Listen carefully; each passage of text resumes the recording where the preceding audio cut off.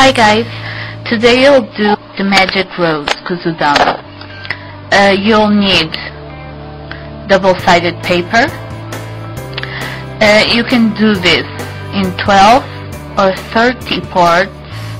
You can do it also in 6, but mm, personally I don't like it because it's too small and you can't see the form of the rose. You can't.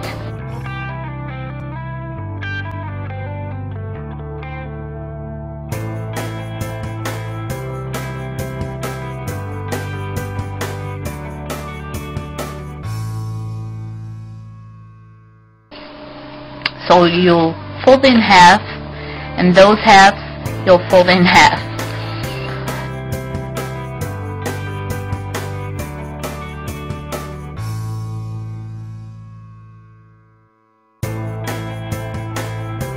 Now, take the bottom tip to the first line and um, rotate it.